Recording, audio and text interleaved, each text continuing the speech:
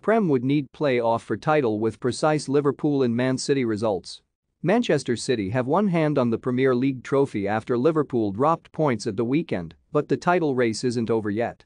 There's still just three points separating the top two sides with three games of the season left.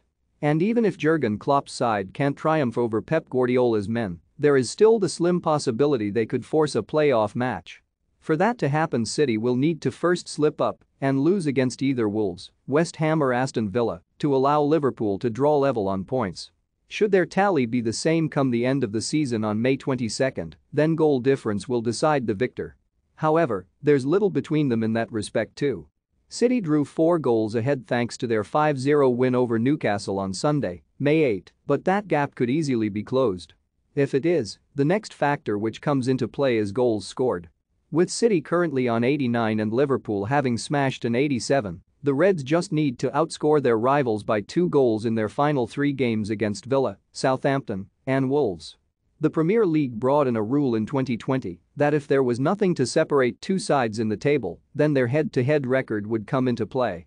But as both of their games this season finished 2-2, that doesn't help the matter.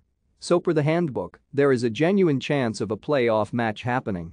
The relevant rule reads, if two clubs cannot be separated by operation of Rule C17.1 and C17.2, a playoff on a neutral ground, the format, timing and venue of which shall be determined by the board. Who would you back to win the playoff and why?